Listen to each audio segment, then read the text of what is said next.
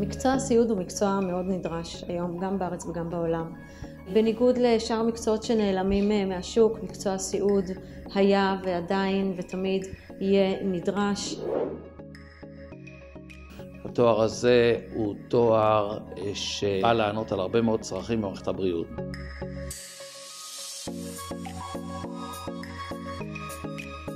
האחות היא ציר מרכזי בבית החולים. אין היום בעצם שום שירות בקהילה או בבית חולים שהוא לא נסמך על עבודת האחות. האחות היא עוגן מרכזי שעליו נשענת עבודת המחלקה. המקצוע הזה הוא מגוון ביותר, יש בו החל מרפואה של ילדים ותינוקות, מחלות כרוניות, אונקולוגיה, טיפול נמרץ. זאת אומרת שהמגוון הוא הרבה יותר עצום ממה שאנשים תופסים את המילה סיעוד, זה הרבה מעבר לזה. אנחנו חושבים שלכל הנושא של טכנולוגיות, שהיום ברפואה הוא מרכיב בלתי נפרד מכל מה שאתה עושה בו.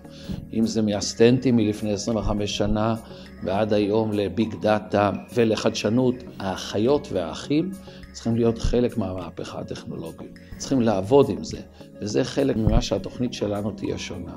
היא תשים דגש מאוד גדול על הנושא הטכנולוגי. לתוכנית הזאת נבחרו מיטב המרצים ומומחים אה, בתחומים הקליניים שילמדו כאן, מומחה בגריאטריה, בטכנולוגיות מתקדמות, בפסיכיאטריה אה, ובשאר התחומים אה, שהם חלק מתוכנית הלימודים.